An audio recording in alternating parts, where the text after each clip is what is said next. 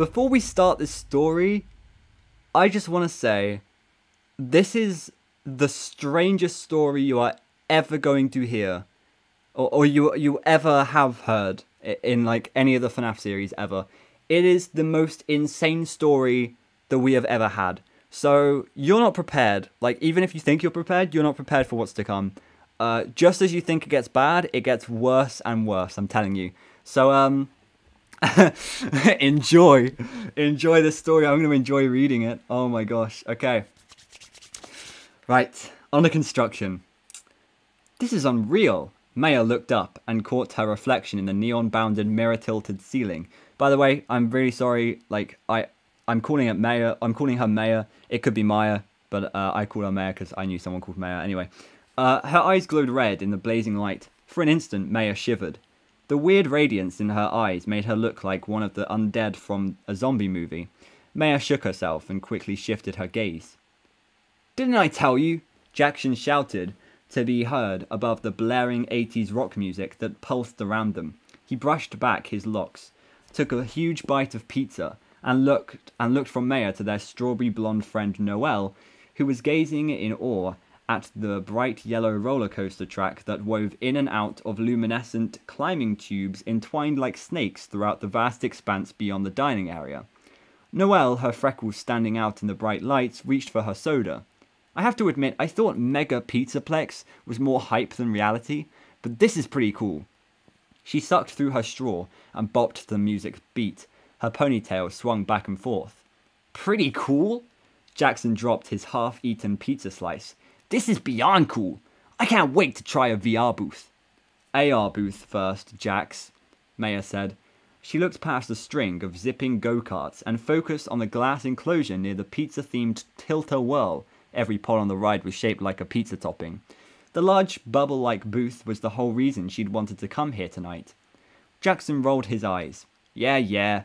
Birthday girl. It's all about you. He flashed his signature mischievous grin and nudged Noelle, who gave Maya a goofy look. Maya struck an exaggerated glam pose and checked herself in the overheard it there's a this is a mistake. I'm sorry, this is a typo. In the overhead mirror again.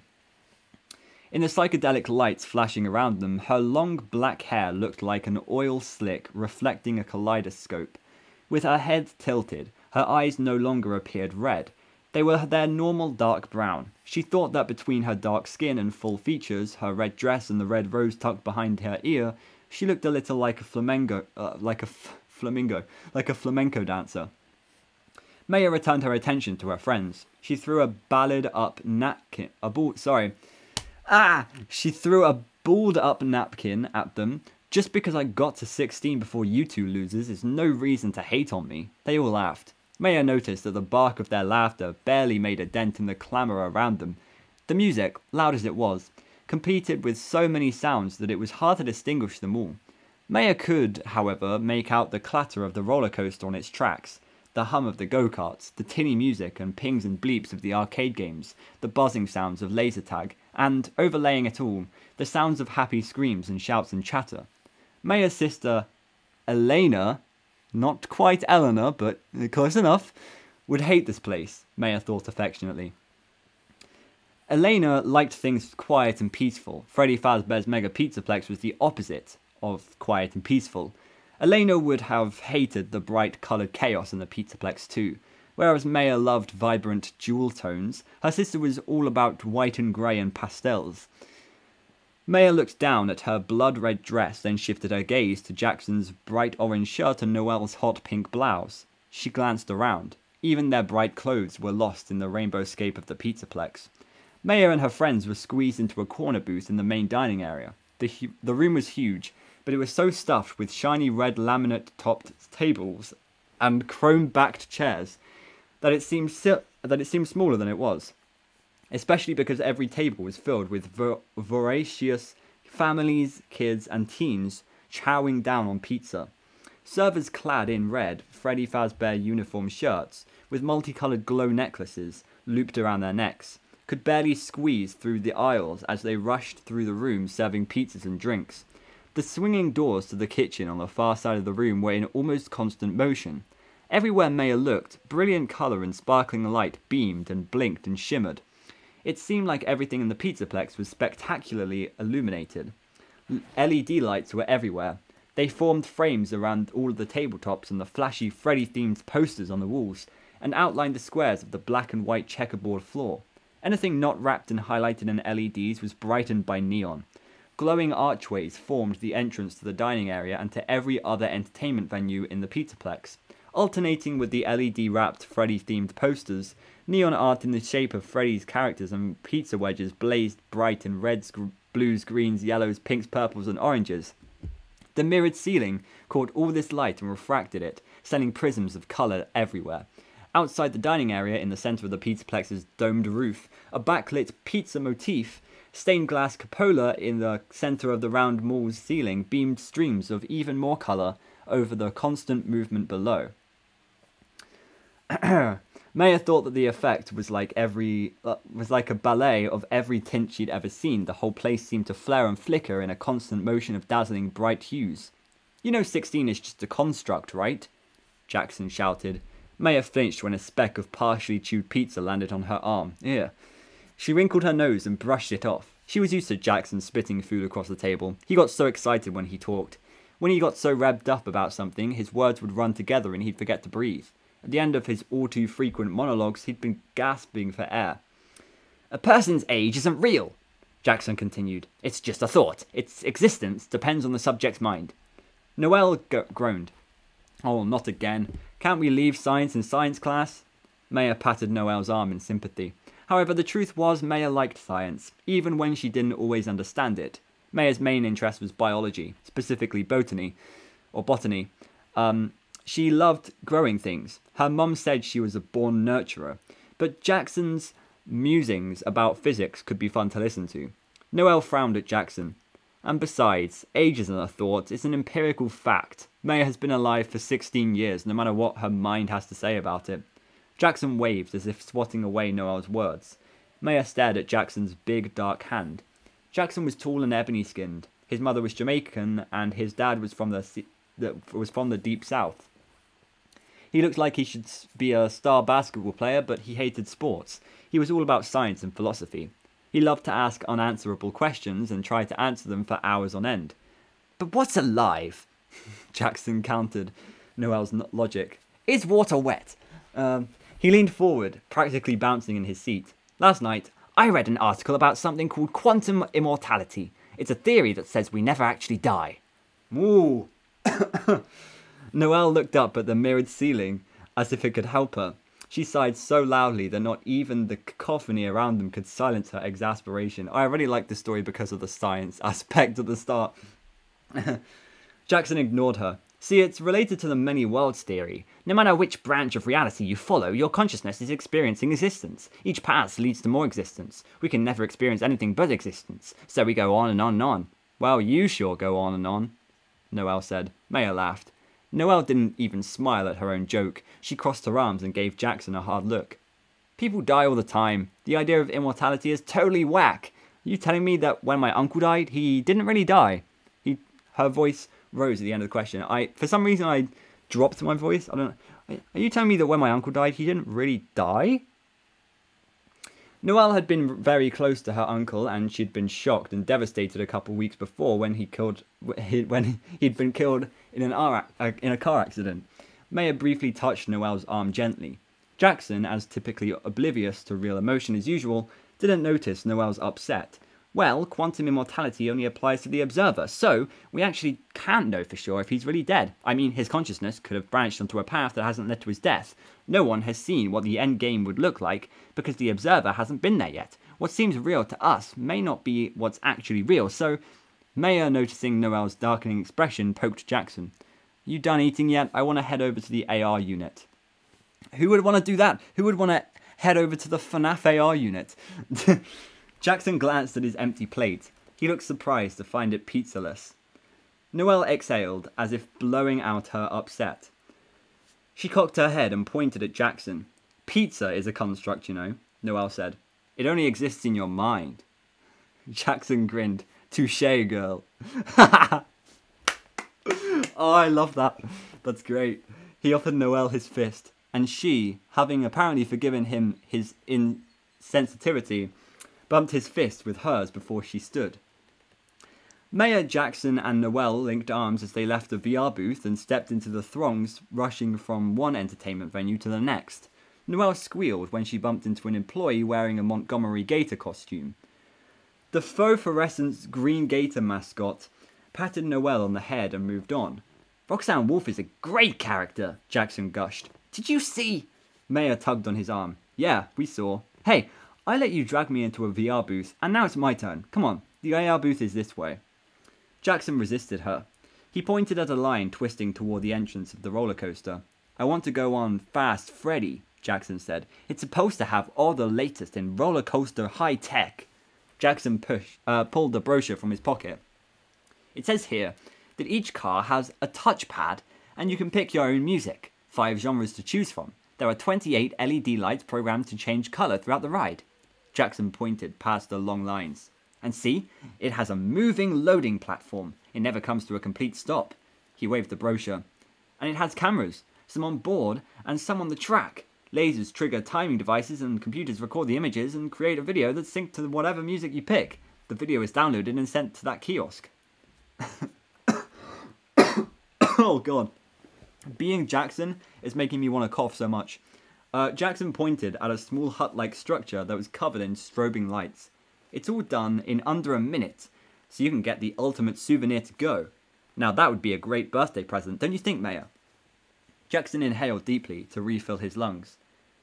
That's what I need to do right now. uh, roller coaster cars careened past overhead. Maya felt a rush of air brush against her face. The screams of the coaster's riders hurt her ears. She shook her head. Later. AR booth first. Jackson hung his head. Then he bowed elaborately. Whatever thou dost sayest, milady. Maya laughed. Jackson's southern, southern accent destroyed his attempt at Old English. Come on, she urged her friends. Noelle and Jackson followed Maya's lead. She tugged them away from the roller coaster entrance and on past the giant swings and bumper cars. At first, Maya hadn't been in that into the idea of celebrating her birthday at Freddy's Pizzaplex. When Jackson had shown her the advertisements for the place, she'd thought they were so over the top that they were lame. She had to admit that Fazbear Entertainment knew how to make money. Before the Pizzaplex's big opening, the company sold thousands of mini hologram projectors at super discounted prices, and the first thing the projector displayed was a holographic Glamrock Freddy doing his spiel. Hey kids, do you want pizza?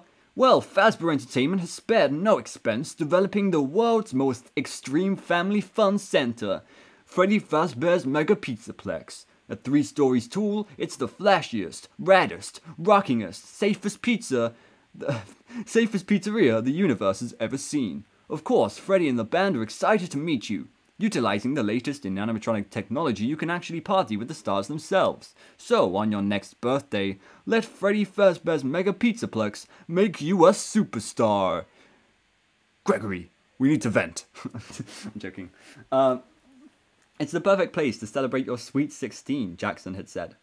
Maya had resisted Jackson's pitch even when he'd listed all the entertainment possibilities. Of course, they have a stage for the animatronics performances, and they'd have an arcade and laser tag, he told her, but they also have a theatre, giant swings and slides and climbing tubes and rides, including a dope roller coaster and bumper cars and state of the art uh, electric powered go karts and a sweet carousel. Oh, and carnival games. Maybe I can win you a plush Freddy. Be still, my beating heart. Maya had replied. What a great line. Um, when Maya had kept shaking her head, Jackson had talked even faster. Oh god, uh, this is like the book is basically challenging me at this point. They also have sick VR booths and roleplay venues. Oh, roleplay. Uh, don't take that out of context. I mean, one of the future books has a roleplay segment. Anyway, uh, it's their premier attraction because Freddy's has always put an emphasis on celebrating birthdays. I know what VR is, but what is AR? Maya had asked despite herself. Um, Jackson's eyes had lit up. He loved explaining things.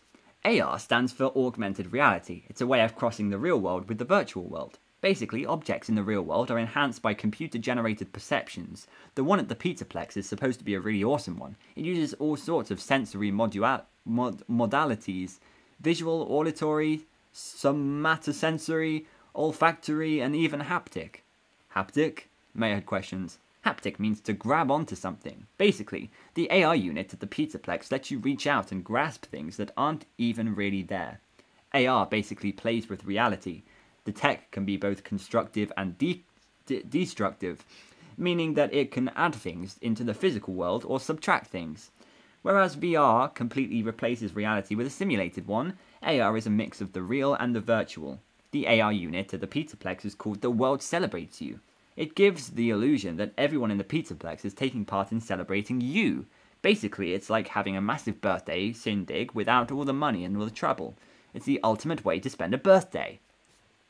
This was what convinced Maya to go for Jackson's idea. Even though she knew her family and all her friends would celebrate her birthday, she also knew it wasn't going to be a huge deal. Her family didn't have the money for a shindig like she wanted. It sounded pretty neat to have a whole pizzaplex full of people partying with Maya on her birthday. So here they were, and she wanted to get her party started.